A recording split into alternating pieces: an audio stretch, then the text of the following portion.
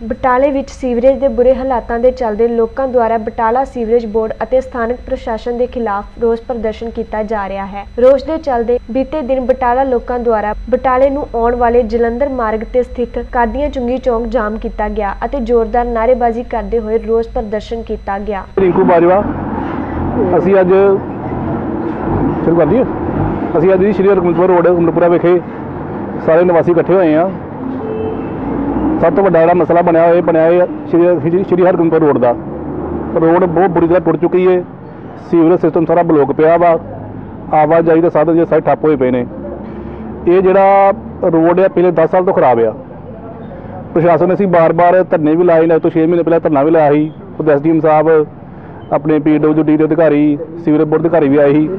ਸਾਨੂੰ ਲਾਰਾ ਲੱਪਾ ਲਾ ਗਏ ਕਿ ਆਪਾਂ ਇਹਦਾ ਕੰਮ ਜਲਦ ਸ਼ੁਰੂ ਕਰਾ ਦਾਂਗੇ, ਪਰ ਉਹਨਾਂ ਨੇ ਮਾੜੀ ਮੋਟੀ ਖਾਨਾ ਪੂਰਤੀ ਕਰਕੇ ਬਾਅਦ ਵਿੱਚ ਕੁਝ ਨਹੀਂ ਕੀਤਾ। ਜਿਸ ਤਰ੍ਹਾਂ ਤੁਸੀਂ ਕਿਹਾ ਵੀ ਸਰਕਾਰ ਦਾ ਲੋਕਾਂ ਦੀ ਸਰਕਾਰ ਹੈ।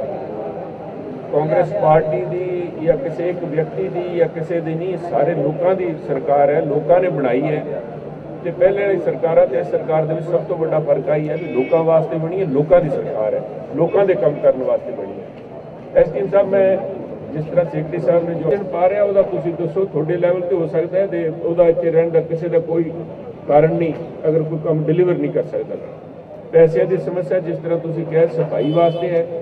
ਸੜਕ ਬਣਾਉਣ ਦਾ ਐਸਟੀਮੇਟ ਜਿਸ ਤਰ੍ਹਾਂ ਸੈਕਟਰੀ ਸਾਹਿਬ ਦੱਸ ਰਹੇ ਸੀ ਕਿੰਨੇ 50 ਲੱਖ ਦਾ ਹੈ, 55 ਲੱਖ ਦਾ ਲੱਖ ਲੱਗ ਨਾ ਸੜਕ ਤੋਂ ਘੱਟੋ ਘੱਟ। ਕਰਾ ਕੇ ਜੇ ਤੇ ਨਹੀਂ ਹੁੰਦੇ ਤਾਂ ਫਿਰ ਮੈਂ ਜਿੱਥੇ ਕਿਤੋਂ ਕੋ ਹੋਰ ਕਟੌਤੀ ਕਰਕੇ ਐਮਪੀ ਲੈਡ ਫੰਡ ਦੇ ਜਿਹੜੇ ਪੈਸੇ ਹੈ ਦੇ ਕੇ ਆ ਸੜਕ ਤਾਂ ਪਹਿਲਾਂ ਬਣਵਾ ਦਈਏ।